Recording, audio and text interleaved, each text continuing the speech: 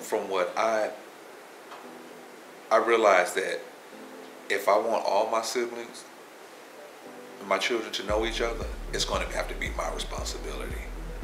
And I make sure that they stay in contact with each other. And um, my kids, by my wife, haven't seen him since he was 11. And they were like two and, you know, two and three at the time. So it was good seeing them. You know, they know who he is. They all look alike. um, but he doesn't know his youngest sister. He never met her. And uh, so that kind of, you know, it hurts. But uh, he sees the pictures on Facebook, and you know, we send each other pictures and stuff. And he say, you know, tell him I love him, and you know, they tell him, you know, he loved them too. Um, but he just in a he's in a place of his own, and you know, I talked to his grandmother, and she said, you know, he doesn't call me a lot. And you know, I tried to call him and get on him about that. You know, you know, why you don't call your grandmother anymore? And you know, she said, you know, he just do his own thing. He's busy. You know, and you know, I understand. Yes. But you do need to pick up the phone sometime and, you know, stay in touch. I think about that quite often. Maybe like once a week. Um,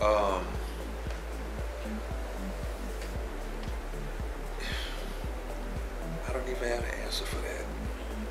I have to put that one in God's hands. And um, because that's going to be a very tough situation. And I explained to them after I'm gone, you know, I like for them to really get to know each other, you know, better, and you know, be a family because we're not we're not gonna be here forever, and that's important to me that they do know. It is.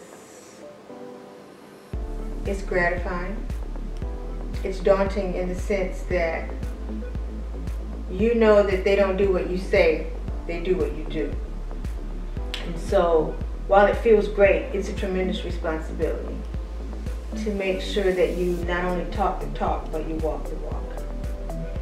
And that you not shield them from trouble or difficult times or lack or any of the things that life thrusts upon us. You know, it, it's it, it's it's a daunting task. It's kind of scary. Yeah. Yeah. Yeah. To make sure that you make the right, and you don't always get it right. And then when you don't, you have to give that disclaimer. You know, well, son, you know, at the time, it seemed like a great idea. But now that life has revealed itself a little more, it was not such a good idea. And this is why it was okay then and it's not okay now, or whatever. Yeah, so it's pretty, it's a challenge. It's daunting. Yeah, I think that was, you summed it up. But it's great. It's great to know that you're the most important people in your child's life because not every child feels that way. And unfortunately, there are parents that don't understand that or feel that way. And, and I say that because, um, again, like Anita said, you want to not just talk the talk, walk the walk. Um, don't do as I was it? Do, do as I say. Yeah, yeah. So um, I, I think some parents uh, don't understand how important that is, and also for the child to know that you're human, that you make mistakes, that you don't, like Anita said, you don't always get it right, but to admit and to show uh, that um, to your your child. So it's not just it, it's important, but it's also kind of revealing. You know, um, you reveal a lot about yourself when there's somebody else that is totally dependent on you. Um, and it is it is a challenge and it's a daunting responsibility. Sometimes it's a burden, you know, because I need, I need, I mommy, mommy, mommy, mommy. Sometimes it's overwhelming. Um, that gets less and less, um, especially as they get older and they get a little bit more independent and they don't need you for every single thing. Um, but that's as it should be. We are the caretaker, we are the provider, we are the parent, and we parent. So, Uh, keeping her alive was a big thing. I knew is.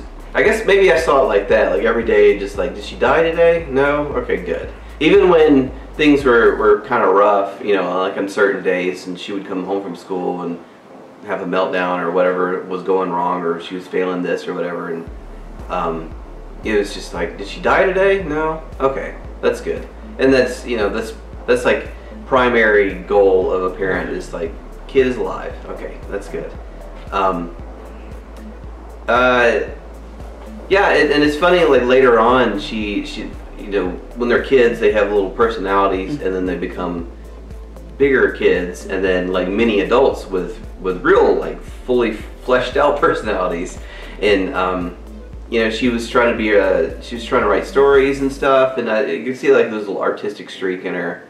And her mom her mom paints and stuff too. So I'm not exactly saying that it's all coming from me, but you know she's she's going into and into acting and building sets and stuff at this little high school and I've taken her on to shoots and and she's helped with the podcast like live events and stuff just like being a little PA uh, so you can see you can see that influence from me coming um, and it's pretty cool and, and, again it's a little terrifying because I know how tough the industry is and that, that's that's scary as a parent um, so maybe I'm leading her astray in that sense but uh, but it's been it's been kind of cool to see that she's been going that way. Maybe because of me, you know, it's hard to say, but it's yeah, it's pretty nice.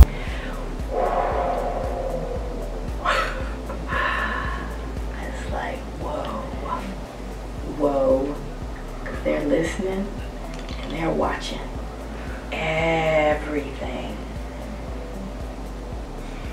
and it makes you when you i think if you're trying to be the right person it and i'm i've always even when i was little yes i cut up and i did what kids do teenagers do all of that. But at my core i never wanted my parents to be ashamed of me. I never wanted to do anything that god wouldn't want me to do and my mantra when I die is to hear God say, Well done, my good and faithful servant. So, with that as my guide, I try to instill that in, the, in, in our children, but I also try to let them know Mommy loves you, Mommy one loves you, I'm Mommy two. So, Mommy two loves you, Mommy one loves you.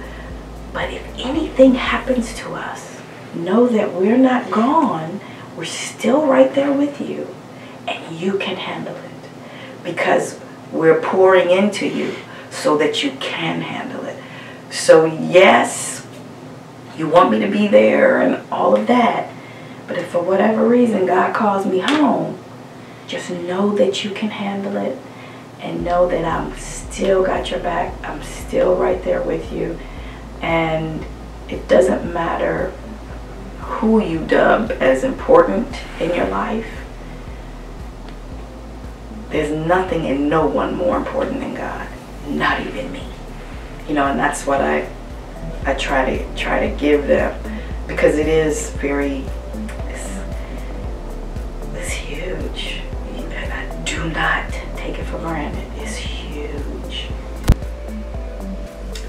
I think there's a lot of pressure in knowing that too, right? Like it's a great thing to feel like you can inspire someone and that you can guide someone because growing up I didn't feel like I had that north star, that guiding light. Um, my mother um, is disabled, so she is legally blind and she's been legally blind since she was 15. Um, I think, and, and not to put that in a negative light, I think she, she did have that victim mentality because of that. And I think in, in living with her, I, I started to develop that victim mentality because that's what I knew and grew up with. And I started to realize that I can make my own way and I can start shaping the way I view the world. And so I didn't feel like I really had that that positive guiding light. I did have an aunt that I really was inspired by, and I lost her unfortunately at 15 years old. So that was very difficult because I think that was the one person that I felt like I had that. And she gave me a glimpse of what it could like, be like to be that kind of a mother. Um, so I think it is it's stressful a little bit to know that you have such weight, but you have to realize that it's all about the values that you live in your life, and you hope that your children that's a strong foundation for them to make choices. I think it's been difficult to know that we can't, we don't own our children, and we can't force them to be the kind of people we want them to be. We can only hope that they see our Example. our example and, and are able to live a, a prosperous life. Like that's how I kind of see it. It is, like I said, stressful to know that, but it's such a huge opportunity to bring change in the world too, um, one child at a time. I didn't really think about, or, or I didn't think about that as being a parent, and you know, just hearing it makes it puts a lot of pressure on you to to be an example for your child, and uh, it's it's it is scary in a way because every action you take molds and shapes them, and we want we only want the best for them, so we have to watch uh, the things that we do uh, so it doesn't negatively impact them and make them, you know, uh, not being contributors of society or just, you know, just being a bad person in general. We don't, we don't want that for them.